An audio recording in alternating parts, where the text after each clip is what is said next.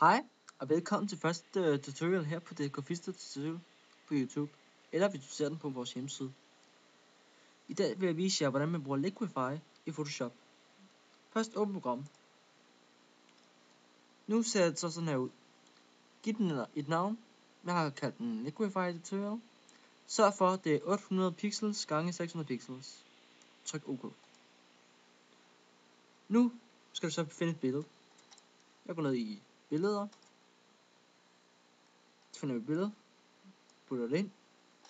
Klikker OK. Dobbeltklikker på mit billede. Trykker OK. Går op i filter. Og trykker Liquify.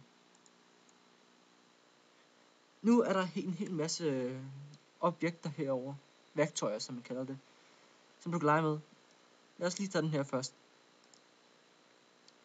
Med den kan du lave en hel masse sjove ting. For eksempel dreje hovedet. Det er sjovt nok. Eller du kan blowtow. for at gøre, mit, gøre det større. Pocket som man kalder det, for at gøre det sådan lidt mindre mærkeligt. Så har vi Tubasatu. det er til at drag det lidt sådan rundt vi øh, uh, Mirror. Det, det er sikkert et spejl, siger vi. Hvis man vil spejlvende tingene og sådan noget.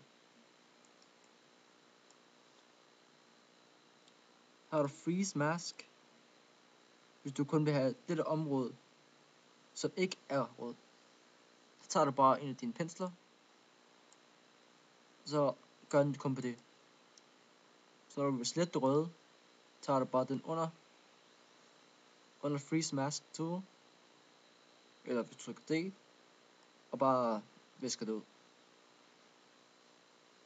Hvis du synes det her det er ikke rigtigt dig, så kan du trykke Cancel og på igen. Når du går ind i filter, Liquify.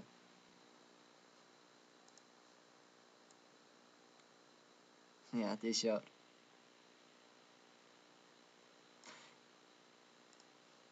Jeg håber, I nød den her tutorial på dkfisterproductions.dk Det passer ikke.